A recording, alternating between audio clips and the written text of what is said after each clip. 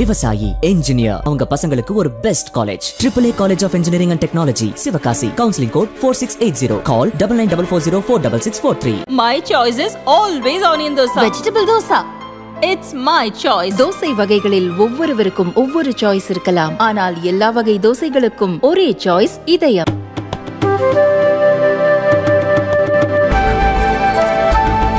நேரலை வணக்கம். இது சாணக்கியா நான் உங்கள் அருண்.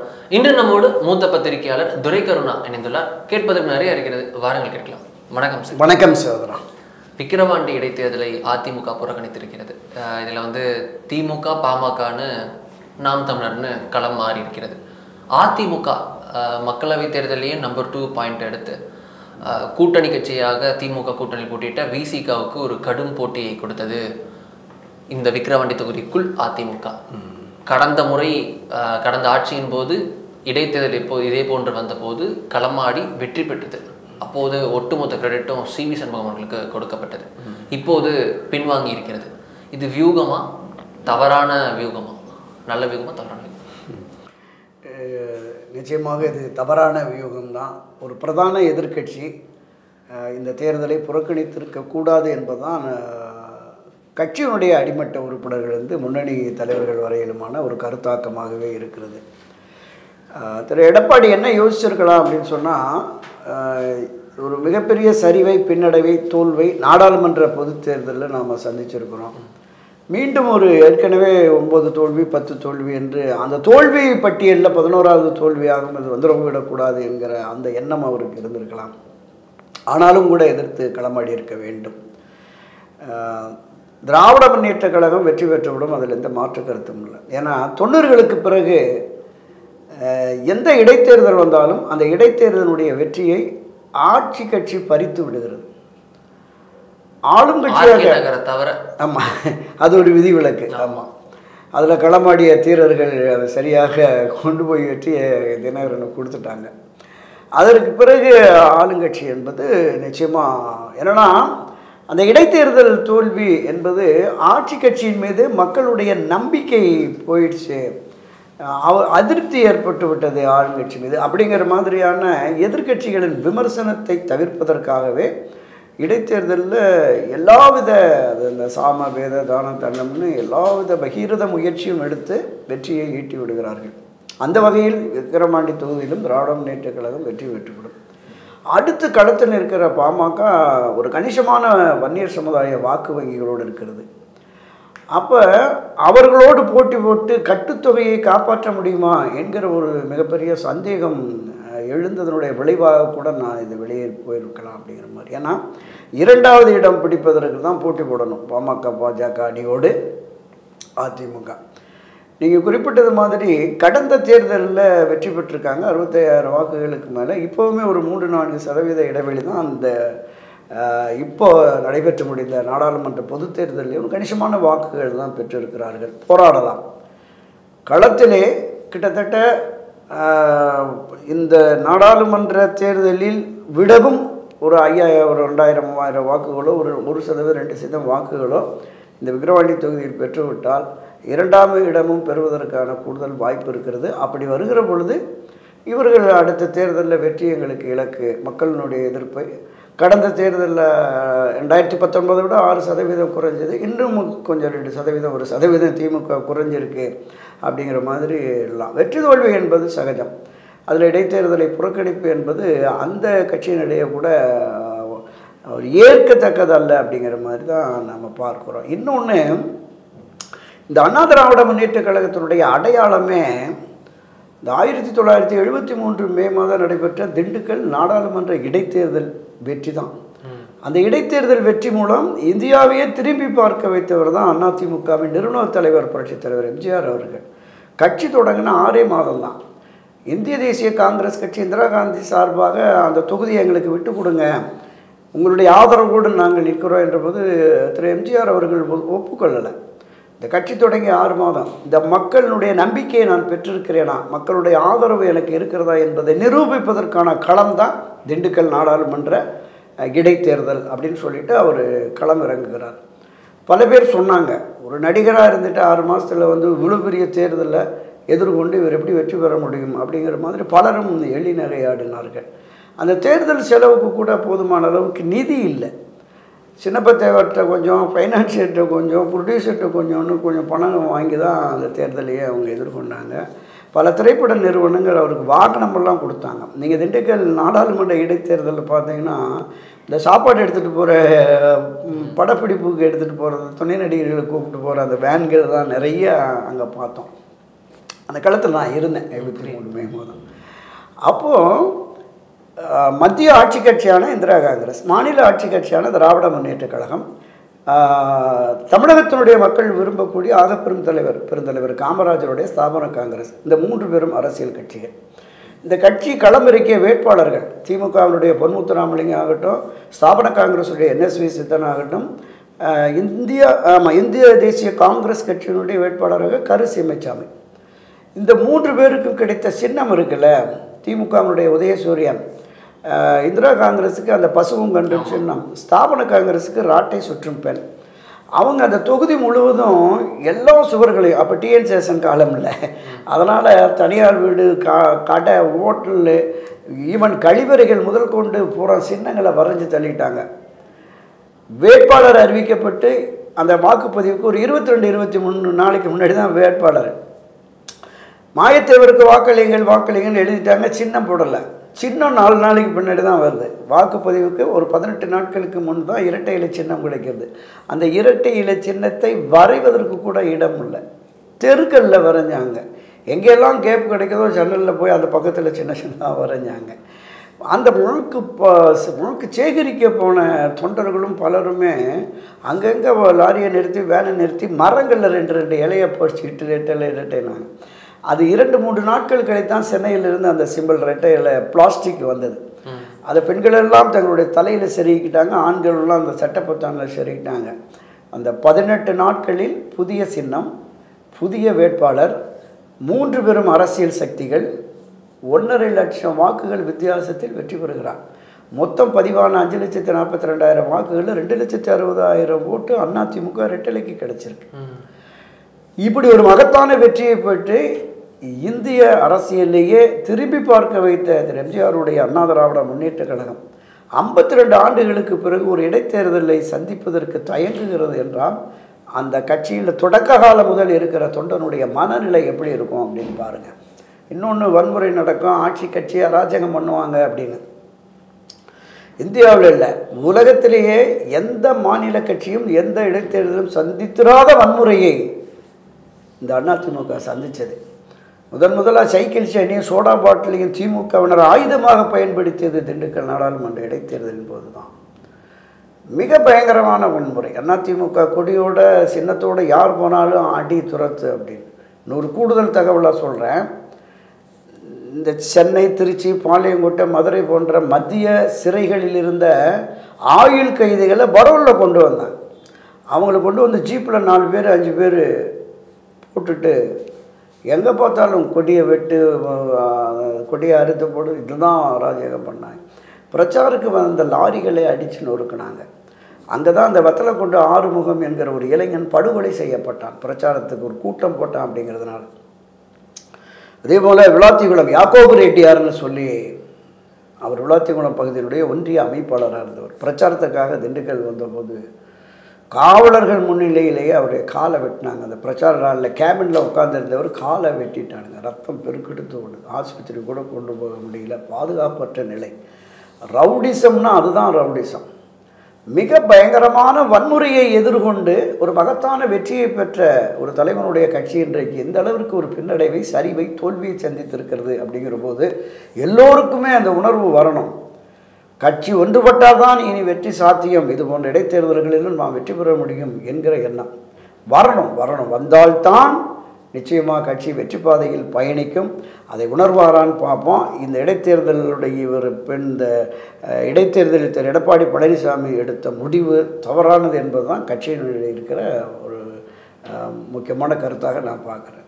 இதில் வந்து முன்னாள் முதல்வர் ஜெயலலிதாவே இது போன்ற முடிவு தான் இடைத்தேர்தல் அப்போ எடுத்திருந்தாங்க. முன்னாடி ரெண்டாயிரத்தி ஆறு பதினொன்று காலத்தில் அப்படின்னு சொல்கிறாங்க அது போல தான் நாங்களும் எடுத்திருக்கோம். அஞ்சு சட்டமன்ற தொகுதி தேர்தலையே இடைத்தேர்தல் புறக்கணிச்சாங்க. இப்போ நாங்கள் இதை புறக்கணிக்க கூடாதா அப்படின்னு ஒரு டிஃபென்ஸ் சொல்லுது. அதை நீங்கள் எப்படி பார்க்க இல்லை இல்லை அதுதான் சொல்கிறேன் நம்ம காரண காரியங்களை தேடி அதை வந்து சரிப்படுத்தணும் அப்படிங்கிற மாதிரியான அந்த பார்வையை தவறானதை தான் நான் பார்க்குறேன் மரியாதைக்குரிய அண்ணா திராவிட முன்னேற்ற கழகத்துறை நிறுவனத் தலைவர் அவர் எம்ஜிஆர் செல்வி ஜெயலலிதா போன்ற மிகப்பெரிய ஆளுமையோ மக்கள் செல்வாக்கோ கட்சியை கட்டமைப்போடு வைத்திருக்கிற தலைமை இப்போ இல்லை. ஒவ்வொரு நாளும் ஒரு பரீட்சையை அவங்க எதிர்கொண்டு தங்களை தகவமைத்து கொண்டு தங்களை வந்து நிரூபித்து கொண்டு வளர்ச்சி பாதையில் கட்சி செல்கிறது என்கிற அந்த எண்ணத்தை உணர்வை உணர்த்த வேண்டிய நிலையில் தான் இப்போ இருக்கிறார். ஒரு மிகப்பெரிய தோல்வியை சந்தித்த நேரத்தில் இந்த இடைத்தேர்தலில் விக்கிரவாண்டி பகுதியில் ஏற்கனவே கணிசமான வாக்குகளை பெற்ற இடம். நீங்கள் இவர் விடுத்த அறிக்கைகள் இவர் அளித்த பேட்டிகள் இருக்குல்ல? அராஜகம் பண்ணுவாங்க பணம் பரவலம் இதை பொதுமக்கள் மத்தியில் போய் அவங்க பிரச்சாரம் பண்ணலாம். இதை தாண்டி இந்த எதிர்ப்புங்கிறது இப்போ ஒரு ஆறு சதவீதம் ரெண்டாயிரத்தி பத்தொம்போதுலேருந்து இப்போ ஆறு சதவீத எதிர்ப்பு இருக்குது இது இன்னும் கிராம பகுதி சார்ந்த பகுதிகளில் கூடுதல் எதிர்ப்பு இருக்கும். அந்த கூடுதல் எதிர்ப்பு வாக்குகளை வாங்கி நீங்கள் இரண்டாம் இடத்துக்கு வந்துட்டீங்கன்னா திமுகவை நேரடியாக களத்தில் வீழ்த்துறதுக்கு நாங்கள் தான் அப்படிங்கிற மாதிரி பேசலாம். அதை தாண்டிட்டு முன்ன நடந்தது புதுக்கோட்டையில் திமுக போனது அந்தந்த காலச்சூழலுக்கு ஏற்ப முடிவெடுப்பார்கள் அரசியல் அது வேற த விஷயம். ஆனால் அதையே காரணமாக வைத்து இதற்கு நியாயம் தேடுவது என்பது சரியான பார்வையலை என்பதுதான் என்னோட கருத்து. இதில் வந்து இது தொடர்பான ஆலோசனை உள்ள நடந்த போது ஒரு மாற்று கருத்துக்கள் வந்ததாக தகவல். தலைமையகத்தில் திரு. ஏபிஎஸ் அவர்கள் இந்த விஷயத்தை விக்கிரவாண்டி தேர்தலை நம்ம புறக்கணிப்போம் அப்படின்னு ஒரு விஷயத்த சொன்னோன்னே உள்ள நிர்வாகிகள்லாம் சிலர் வந்து சலசலப்பாக பேசியதாகவும் சிலர்லாம் வந்து இல்லை நம்ம போட்டியிடலாம் அப்படின்னு திரு. சி. வி. சண்முகம் உட்பட சிலர்லாம் சொன்னதாகவும் அதுக்கு வந்து கூடவே சேர்ந்து சிலர் ஆதரவு குரல் எழுப்பியதாகவும் அதற்கு மறுப்பு தெரிவித்து இவர் தனது தரப்பு கோணத்தில் வந்து த- தான் தான் என்ன எப்படி இந்த விஷயத்தை அணுகிறார் அப்படின்றத திரு. இபிஎஸ் அவர்கள் விளக்கம் கொடுத்ததாகவும் தகவல். ஆக்சுவலாக உள்ளே என்ன நடந்தது தான் என்னது? ஆக்சுவலாக ஏன்னா இது தொடர்பாக பல ரூமர்ஸ்லாம் நிறையா நியூஸ்லாம் வரதை நம்ம பார்க்குறோம். உள்ளே நடந்தது என்ன? உங்களுக்கு இருக்கக்கூடிய சோர்சஸ் இல்லை நிச்சயமாக அந்த நான் சொன்னேன் ஆயிரத்தி தொள்ளாயிரத்தி எழுபத்தி ரெண்டில் கட்சி தொடங்கிய அந்த காலத்து முதல் அதில் தொடர்ந்து பயணித்து வருகிற மூத்த நிர்வாகிகள் முன்னோடிகள் இருக்காங்கல்ல அவர்களில் பெரும்பான்மையோர் இந்த தேர்தலை நாம் எதிர்கொண்டிருக்க வேண்டும் அங்கிற கருத்து தான் இருந்தது. அதையும் சொல்லியிருக்கிறாங்க. இப்போ தலைமை இப்போ இப்போ தலைமை கழக நிர்வாகிகள் கூட்டத்தில் இருக்கிற போது அவங்க எல்லாமே சொல்லியிருக்கிறாங்க. நம்ம வந்து பயந்துட்டோம் பலகீனமாயிட்டோம் அப்படின்னு ஏற்கனவே பொதுவெளிகளில் இந்த தோல்வியோடு முடிஞ்சு போச்சுங்கிறாங்க. அதை விடவும் கொஞ்சம் கூடுதல் வாக்குகளை வாங்கி இந்த தேர்தலில் நாம் வளர்ந்து வருகிறோம் என்பதை நிரூபிப்போம் அப்படிங்கிற மாதிரி. திரு சி வி சண்முகமும் சொல்லியிருக்காரு. ஏன்னா கடந்த தேர்தல் வெற்றி அவருக்கானது அப்படிங்கிற மாதிரி சொன்னாங்க. அவர் என்னன்னா நான் கேள்விப்பட்ட வகையில் எடப்பாடி பழனிசாமி நீங்களே வேட்பாளரை போட்டு நீங்களே செலவு பண்ணி ஜெயிக்க வச்சுட்டு வாங்க அப்படின்னு சொன்னாங்க. அது அவருக்கு ஒரு மாதிரி ஊனி ஆகிப்போச்சு காலமெல்லாம் நானே செலவு பண்ணிகிட்டு இருக்கணுமா? இப்போ தான் நாடாளுமன்ற தேர்தலுக்கு கோடிக்கணக்கில் செலவு பண்ணிவிட்டு என்னை கொண்டு வந்து ரோட்டில் நிறுத்தணும்னு நினச்சிட்டிங்களா? அப்படிங்கிற மாதிரி கொஞ்சம் வருஷம் நீங்களே பார்த்துங்க சார்னு எந்திரிச்சிட்டாங்க. அப்புறம் இருக்கிற நிர்வாகிகள் சமாதானப்படுத்தி உட்கார வச்சு அவர் நீங்கள் சொன்ன மாதிரி எடப்பாடி பழனிசாமி சொல்லியிருக்காரு.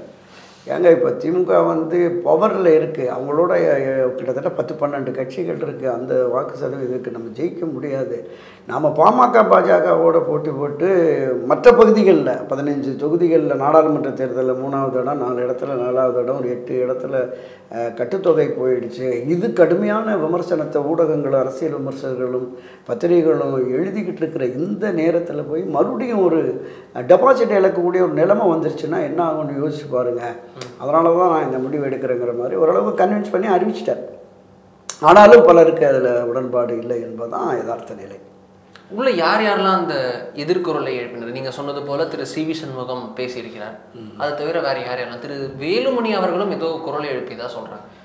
இல்லை இல்லை. தங்கமணி வேலுமணி என்னை பொறுத்தளவில் பெரும்பான்மையான நிர்வாகிகள் வந்து இந்த முடிவு சரியானது இல்லை அப்படிங்கிற மாதிரி தான் தொடக்கத்தில் சொல்லியிருக்கிறாங்க. இவர் வந்து பிடிவாதமாக இந்த நிலை தான் இருக்கணும் இப்படி தான் எடுக்கணும் அப்படிங்கிற மாதிரி சொன்னபோது சரி உங்கள் இஷ்டம் சார்னு சொல்லிட்டேன். ஏன்னா கடைசியில் கருத்துக்கள் பரிமாற்றம் இருந்தாலும் கடைசியில் பொதுச் செயலாளர் ஒரு முடிவு எடுத்து அறிக்கிற போது அதை பண்ணிடலாம் அப்படிங்கிற மாதிரி சொல்லியிருக்காங்க. இன்னும் அதில் அதிருப்தி இருக்குது. பல நண்பர்கள்ட்ட நான் பேசுகிற போது சொன்னாங்க. குறிப்பாக ஒரு ஐம்பத்தெட்டு வயது பெரியவர் தூத்துக்குடி புதுக்கோட்டைன்னு தூத்துக்குடியில் புதுக்கோட்டைன்னு ஒரு பகுதி அங்கேருந்து எனக்கு தொலைபேசியில் ஃபோன் பண்ணி சொல்கிறார் சார் கட்சியை எப்படி கொண்டு போயிட்டாங்க சார். இடைத்தேர்தலில் கூட போட்டியிடலைன்னா மரியாதை இல்லை சார். இங்கெல்லாம் எங்களெல்லாம் கடுமையாக இந்த கட்சியில் நீங்கள் இருக்கணுமான்னு கேட்குறான் அங்கே யாராவது நிற்கலைன்னா சொல்லுங்கள் சார். என்னை போட சொல்லுங்கள் சார். நான் வந்து அங்கே ரெட்டலையில் ஓட்டு வாங்கி ஜெயிச்சு காட்டுறேன் சார். ஒரு கட்சியினுடைய அடிப்படை உறுப்பினருடைய உணர்வு எப்படி இருக்கிறது தான். இதுதான் கீழே இருக்கிறவங்களுடைய இது. ஏன்னா அவன் களமாடுகிறான். அவன் தான் கீழே நிற்கிறான். நீங்கள் இரட்டை இலைக்கான வெற்றியை தேடித்தந்தே தீர வேண்டும் அப்படின்னு. ஒரு தோல்விக்கு பிறகு அதிமுக தொண்டர்கள்ட்ட ஒரு வீரியம் இருக்கும் ஒரு எழுச்சி இருக்கும். அந்த எழுச்சியை பயன்படுத்த எடப்பாடி தவறிவிட்டாரோ அப்படிங்கிறது தான் அடிமட்ட தொண்டர்கள். இந்த வாய்ப்பை சரியாக பயன்படுத்தி இருக்க வேண்டும் என்று முன்னணியினருமே கருதுகிறார்கள். அதை எப்படி இதை நம்ம அமல்படுத்துறதுன்னு புரியாமல் தான் இருக்குது இப்போ அதே தலைவர்கள் நான் குறிப்பிட்ட அந்த மூத்த தலைவர்கள் எல்லோருமே இந்த செம்மலை செங்கோட்டையன் தங்கமணி வேலுமணி விஜயபாஸ்கர் உட்பட ஒரு ஒரு ஒரு செட்டு வந்து கட்சி ஒன்றானால் தான் முடியும். பிரிந்து கிடக்கும் சக்திகளை நாம் ஒருங்கிணைக்காவிட்டால் இரண்டாயிரத்தி இருபத்தி ஆறில் ஒரு படுதோல்வியை சந்திக்க வேண்டியது வரும் அப்படிங்கிற மாதிரி சொல்லி பேச்சுவார்த்தை நடைபெற்று கொண்டிருப்பதாக ஒரு தகவல் இருக்கிறது. இப்போ பேசிட்டு இருக்காங்க. இப்போ பேசிட்டு இருக்காங்க. அதாவது அவர்கள்- இபிஎஸ் அவர்களுக்கு அவர்கள்- தெரியாமலோ திரு வேலுமணி தங்கமணி திரு செங்கோட்டையன் விஜயபாஸ்கர் உள்ளிட்ட முக்கிய தலைவர்கள்லாம் பிரிந்து இருக்கக்கூடிய சக்திகள்னா நான் திரு ஓபிஎஸ் அவர்களும் திரு திரு சசிகலா அவர்களும் எடுத்துக்கலாமா? ஆமாம் ஆமாம் ஏன்னா இப்ப ஆமாம், press meet கொடுத்து விடுத்திருக்கிறார். ஏன்னா அப்போ அமமுகவை பொறுத்தளவில் அவங்க நான் தனி. கட்சி. நான் வந்து நீங்கள் ஒன்று சேர்ந்துக்கிட்டீங்கன்னா நான் தேர்தல் உடன்பாடு கூட வச்சு களம் காண்கிறேன் அப்படிங்கிற மாதிரி ஒதுங்கிட்டார். இப்போதைக்கு திரு ஓபிஎஸ் திருமதி வி கே சசிகலா திரு இபிஎஸ் அவர்கள் தான். அவங்க என்ன மூத்தவங்க சொல்கிறாங்க அப்படின்னு சொன்னால் இவரை முதல்ல கன்வின்ஸ் பண்ணி வலியுறுத்தி திரு எடப்பாடியை சம்மதிக்க வச்சுட்டு இந்த மூணு பேருமே உட்காந்து பேசட்டும். ஓபிஎஸ் திருமதி சசிகலா இபிஎஸ் மூன்று பேரும் அமர்ந்து பேசி அவரவருக்குள்ள அந்த ஈகோவை விட்டுட்டு சுயநலத்தை மறந்து கட்சி முக்கியம் கட்சியினுடைய வளர்ச்சி முக்கியம் கட்சியினுடைய வெற்றி முக்கியம். அப்படிங்கிற மாதிரி கருதி அவங்களுக்குள்ள ஒரு பேச்சுவார்த்தை நடத்திட்டு தலைவர் காலத்து ஆட்கள் அம்மா காலத்து ஆட்கள்னு ஒரு எட்டு ஒம்பது பேர் கொண்ட ஒரு குழு. அந்த ஒன்பது பேர் ப்ளஸ் இவங்க மூணு பேர் தலைவர்கள் மூணு பேர். இந்த பனிரெண்டு பேர் கொண்ட ஒரு உயர்மட்ட குழுவை போட்டு அந்த உயர்மட்ட குழு எடுக்கிற முடிவை அமல்படுத்துகிற இடத்துல இவங்க இருக்கணும் அப்படிங்கிற மாதிரி. இதில் இன்னொரு கருத்து என்ன வருதுன்னா சிறை மீண்ட திருமதி வி கே சசிகலா இன்னொரு மூன்று நான்கு ஆண்டுகளுக்கு தேர்தலில் நிற்க முடியாது. தேர்தலில் நிற்க முடியாது இருபத்தாறு தேர்தலும் சந்தேகம். இது போட்டியிட ரெண்டாயிரத்தி இருபத்தாறில் போட்டியிட முடியாது. இந்த ரெண்டாயிரத்தி இருபத்தி ஆறில் போட்டியிடுகிற வேட்பாளர்களுக்கு ஏ ஃபார்ம் பி ஃபார்மில் கையெழுத்து போட முடியாது. அப்போ இவங்களுக்கு இப்போதைக்கு பொறுப்பு என்பது கௌரவ பதவி. ஆ ஒரு கௌரவ பதவியை கொடுத்துட்டு திரு ஓபிஎஸ் இபிஎஸ் அவங்க வந்து இது அவங்க அந்த அந்த பொறுப்புகளை பகிர்ந்து செயல்படுத்தலாம் அப்படிங்கிற மாதிரி அவங்க தரப்பில் மூத்தவர்கள் தரப்பில். இப்போ பொதுச் செயலாளர் அவரே இருக்கட்டும். இணை பொதுச் செயலாளராக திரு ஓபிஎஸ் அவர்களை போட்டுக்கிறது அப்படிங்கிற மாதிரி. அந்த ஏ ஃபார்ம் பி ஃபார்மில் கையெழுத்து போடுற அதிகாரம் பொதுச் செயலாளர் மட்டுமேவா அல்லது இவர்கள் இருவரும் இணைந்தா அப்படிங்கிறது வந்து பின்னாடி பேசிக்கலாம் அப்படிங்கிற மாதிரி ஒரு ஒரு பேச்சுவார்த்தை பேச்சுவார்த்தை போயிட்டு இருக்கு ஒரு பேச்சுவார்த்தை நடைபெற்று கொண்டிருக்குது. அவர்களுக்குள் பேசியிருக்காங்க. இது திரு எடப்பாடிகிட்ட கொண்டு போயிட்டு இந்த தரப்பையும் பேசி கொண்டு போகணும் அப்படிங்கிற மாதிரி. இதற்கிடையில் நம்ம ஜெயஸ்ரீ பிரபாகர் கே சி பழனிசாமி புகழேந்தி போன்றவர்கள் ஒரு ஒருங்கிணைப்பு குழுவில் அவங்களும் அப்ரோச் பண்ணிக்கிட்டு இருக்காங்க அப்படின்னு கேள்விப்பட்டேன். யாரு? நம்ம இருக்கிற மூத்த தலைவர்கள் சொன்னேன்ல. அந்த பக்கம் திரு எடப்பாடி தரப்பில் இருக்கிறவங்கள நேரடியாக தரப்பில் இருக்கக்கூடிய மூத்த மூத்த தலைவர்கள் தலைவர்கள் யார் இணைப்பை விரும்புகிறார்களோ அவர்கள் அவர்கள்ட்ட இவங்க பேசிட்டு இருக்காங்க திரு எடப்பாடியும் நாங்கள் சந்திக்கிறதுக்கு வாய்ப்பு ஏற்படுத்தி கொடுங்கள் அப்படின்னு. திரு எடப்பாடி அவர்கள் அதை வந்து ரொம்ப அசால்ட்டாக கடந்து போயிட்டார். ஏங்க ரோட்டில் போகிறவன் வரவன்லாம் குழு ஆரம்பிச்சான்னா அவனோட என்னன்னு அது ஒரு அரசியல் இயக்கத்தை ஒரு மிகப்பெரிய அரசியல் இயக்கத்தை வழி நடத்துகிற ஒரு தலைவனுக்கு அது அழகில்லை. திரு ஜெயஸ்ரீ பிரபாகர் வந்து அண்ணா திராவிட முன்னேற்ற நிறுவனத் தலைவர் புரட்சி திரு எம்ஜிஆருடைய செல்லப்பிள்ளையாகவே இருந்தார். இந்த ஜெயஸ்ரீ பிரபாகருடைய உதவியாளர் திருமண விழாவில் பேசிய புரட்சித் தலைவர் எம்ஜிஆர் சொல்கிறார் எனக்கு ஒரு மகள் இருந்தால் ஜெயஸ்ரீ பிரபாகருக்கு நான் திருமணம் செய்து கொடுப்பேன் அப்படின்னு. அந்த அளவிற்கு நெருக்கமாக இருந்தார் சட்டமன்ற உறுப்பினராக வாரிய தலைவராக இருந்தவர். ஏ- நம்ம கேசி பழனிசாமி எண்பத்தி நாலில் சட்டமன்ற உறுப்பினராக கோவையில் வந்தவர் இந்த அம்மா பீரியடில் தொண்ணூத்தெட்டு தொண்ணூத்தொம்பது காலகட்டத்தில் நாடாளுமன்ற உறுப்பினராகவும் இருந்தவர். எனவே புகழேந்தி என்பவர் நமக்கு தெரியும். இந்த அம்மா காலத்திலிருந்து பெருமளவு பெரிய அளவில் பெருமளவு அவர்- அவருடைய சொத்துக்களை ஜா ஜாமீனாக பிணையாக கொடுத்து தான் அவங்கெல்லாம் பண்ணார். ஸோ அப்படிப்பட்ட அந்த மூன்று பேரை ரோட்டில் போகிறவன் அப்படிங்கிற மாதிரி பேசுகிறதுங்கிறது யாருமே அதை ரசிக்கலை. இத்தகைய அணுகுமுறை வந்து ஒரு கட்சியை வழிநடத்தும் தலைவனுக்கு அழகில்லைங்கிற மாதிரி தான் கட்சியினுடைய நிர்வாகிகள் தொண்டர்கள் மத்தியிலே இருக்குது பெரும்பான்மையோர் ஏறத்தாழ தொண்ணூறு சதவீதம் பேர் கட்சி வந்து ஒன்றுபட்டால் தான் வெற்றி சாத்தியம்.